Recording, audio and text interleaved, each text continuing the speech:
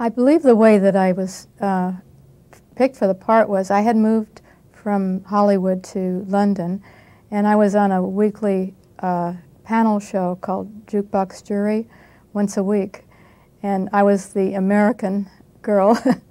and I think well, the producer saw me on, on television, and uh, they were looking for a young American actress, and that's how I got the, the job. The only thing I think I brought to the movie really was an American accent and a certain amount of youth. They were looking for a young American girl in London, and I guess it kind of narrowed, the, narrowed it down a bit. Does that sign say Wamport Road?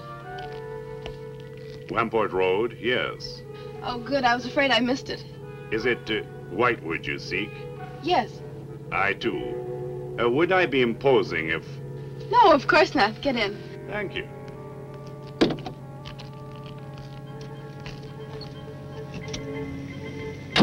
The two things I remember most about um, the movie is, first of all, the, the amount of fog there was.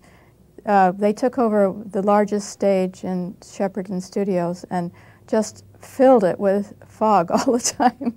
Yes, I remember it was very cold in this in the set. I think they had to keep it very cold to keep the fog down on the ground. But it was, it was a lot of fog. the second thing I remember most about that movie was the very long day I had having to scream. And you think it might be easy to scream, but it's very hard because nobody ever really screams at the top of their lungs and screams so, so continually. But when I was being stabbed by the coven of witches, I had to scream like for a whole day, and that was, I'll never forget that part. that was one of the hardest acting jobs. It probably, my part was probably filmed in sequence because I, they didn't carry me through the whole picture. Uh, I think we did the exteriors first, and then a couple of the interiors, the, my death scene and the, the um, opening where I'm talking to my boyfriend and and uh, Christopher Lee. But I, I don't remember uh, being kept for the whole picture. I think they, they got rid of me first, like they did in the movie.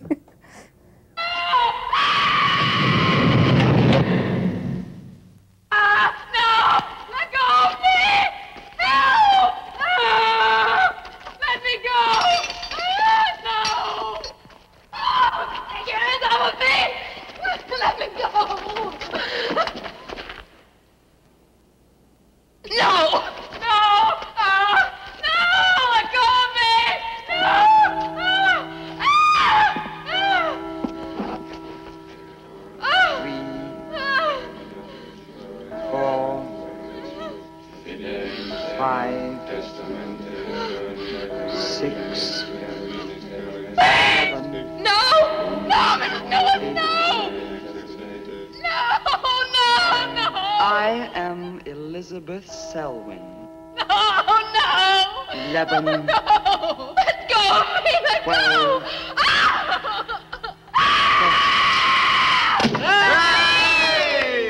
Well, you know, to be honest, I didn't know um, who Christopher Lee was until right after I did the movie. My American friends told me that he was like the, Amer the British counterpoint to Vincent Price. And at that time, he wasn't an international star like he is today. So I wasn't aware of him. He seemed like a very nice gentleman, um, good voice. and the, I think Dennis Lotis uh, was a singer. He was um, he played my brother. And Betta St. John was a, an American actress, although I thought she was British when we were working together. It was kind of strange because I'm I was born in England and I moved to America. And I did a, then I went to England to do the movie where I played an American, but actually we filmed it in England. So everybody, and I have an American accent, I think, but for some reason it seemed like when I watched the film, I was slightly British in it. Everybody was kind of mid-Atlantic, I think.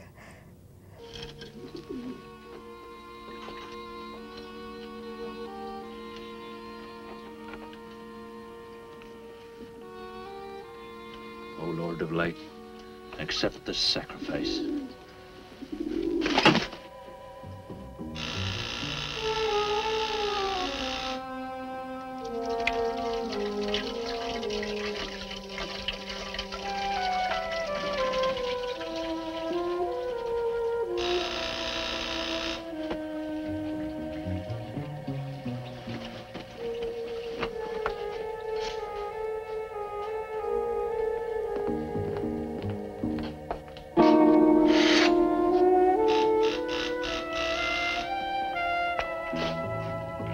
I'm really surprised of all the films that I've done. This is the one that most people who are real film buffs know about.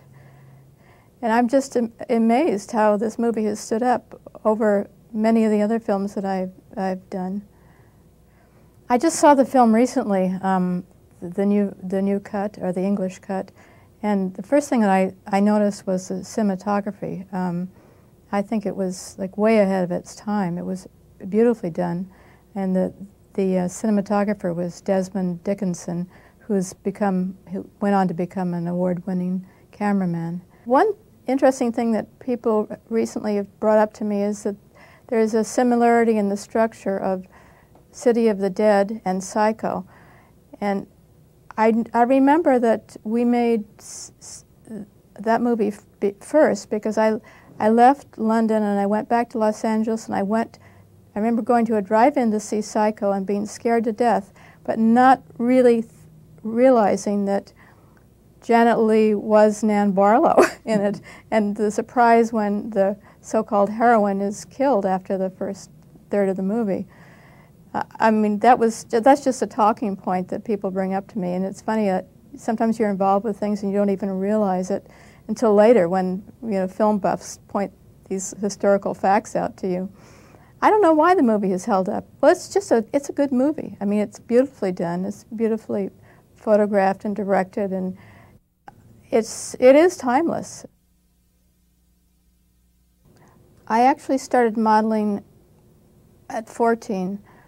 Um, my, my, girlfriend and I were at the beach at Malibu, and there was a uh, quite a famous pinup photographer and his wife who also lived down in Malibu, and they saw me and asked me if I would take some some photos for them, and um, that started me as a model.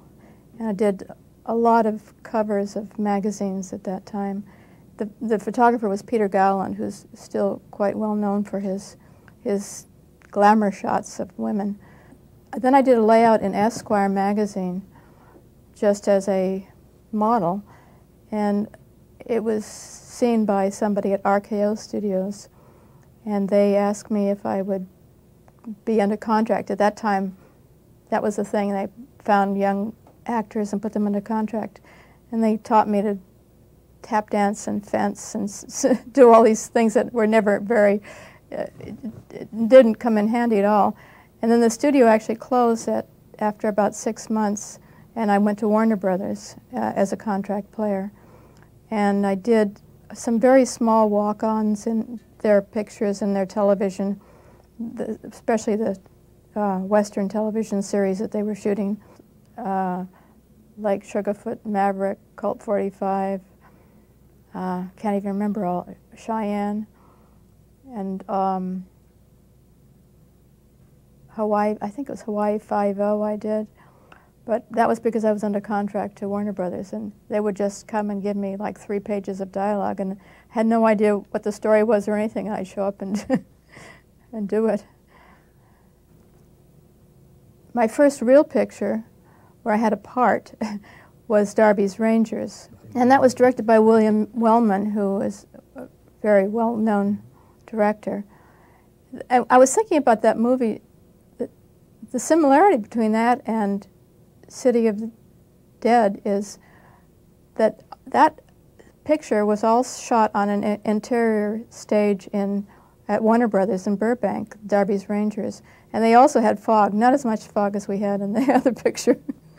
But we had a lot of fog on that set. That was, uh, that was my first picture. The contract system was, was a wonderful training ground for, for new people.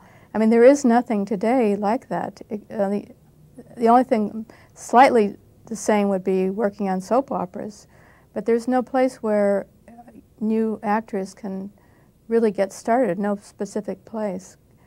But that was a great training ground. All the big studios had a contract system, and they pay you very little, but they, you know, you have the experience of actually doing bit parts or sometimes even more. And they taught you, they gave you, you know, acting lessons, lessons for everything. But it was a great system. I think it died around uh, probably at the beginning of the 60s. I think Universal was the last studio that really had a, a going contract uh, players list. My original idea in going into films was not to be an actress. I never had a, just this overwhelming desire to be an actress. I thought it might be nice to be a movie star, but I really wasn't. What I really wanted to do was to be a writer. Uh, and that was what my father was encouraging me to do. Um, my father was a very successful film director. He, he, we came from London because he was under contract to David Sels, O. Selznick. He did uh, pictures like Jane Eyre. He was signed by Howard Hughes. He did a lot of film noir pictures. And uh, also he worked for Walt Disney. He did Mary Poppins, Absent Minded Professor, um, The Love Bug, a, lot of the live action Disney films. But he was a great friend of Alfred Hitchcock. And I think he kind of shared Hitchcock's um, view on actors that, you know, nobody over 20 should be an actor. I think that when actors are just props. So uh, my father always wanted me to, to be an, a writer or be something else other than an actress in films, which I ended up doing. My mother's uh, stage name is Anna Lee, and she started in films in England. In fact, my father directed um, her in a film, and that's how they met. And when they came uh, to America, one of the first films she did was a horror film. I guess it would be called a horror film called Bedlam with Boris Karloff. She did actually two pictures with Boris Karloff. The first one was not a horror film. Um, and she's now 88, 89 years old, and she's still appearing on General Hospital as Lila Quartermaine. so she's had a very good, long career. But it has, it's had some, you know, ups and downs, but right now she's She's uh, as happy as anything. Uh, I remember being on the set of um, Bedlam, uh, which was an early film. I remember being on the set of Mary Poppins. I remember being on the set of at RKO when my father was doing a film noir picture with Ava Gardner and Robert Mitchum. I remember meeting all these people, but you know, if you grow up in this, it's nothing it's nothing special, you know, you just remember it. Hitch was a good friend of my father's. Um, they socialized. They were both uh, English, and they so they came from the same backgrounds.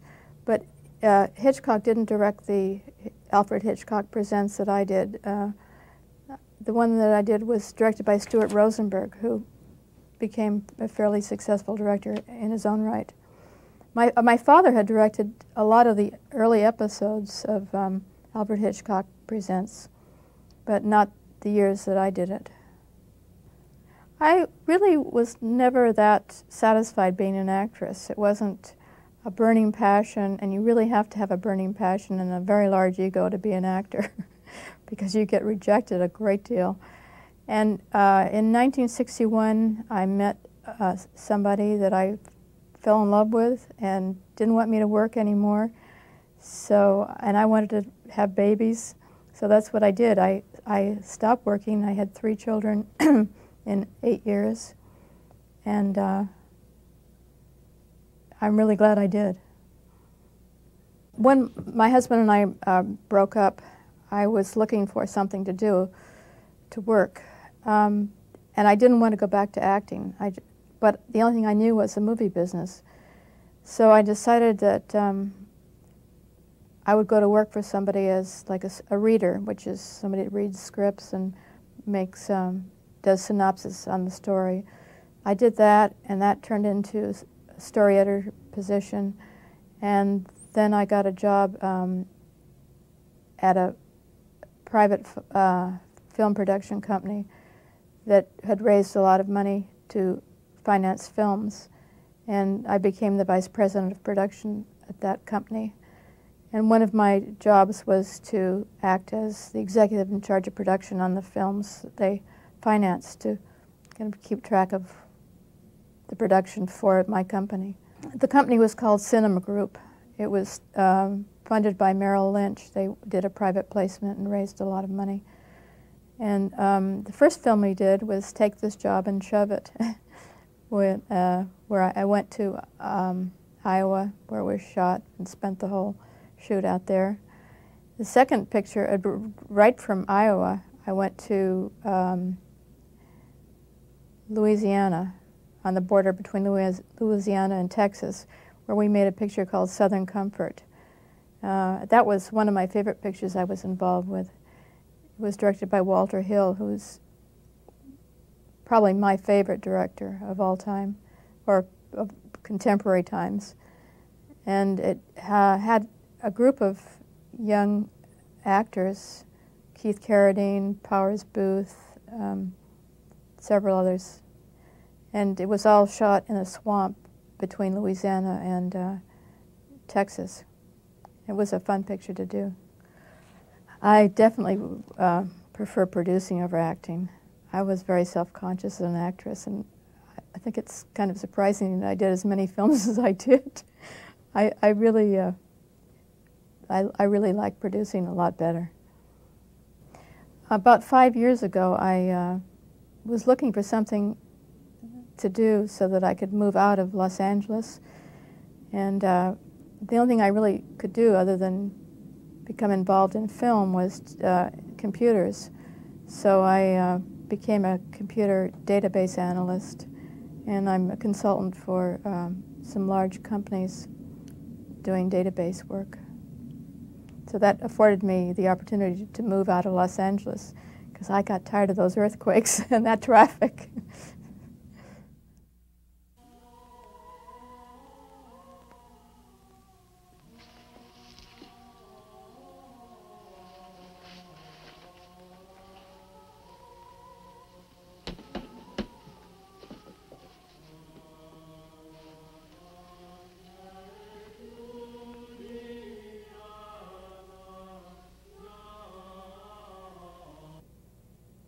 I know there are a lot of, of fans of this film, which is amazing, and it, it I'm really appreciative of it. It's like being renewed again.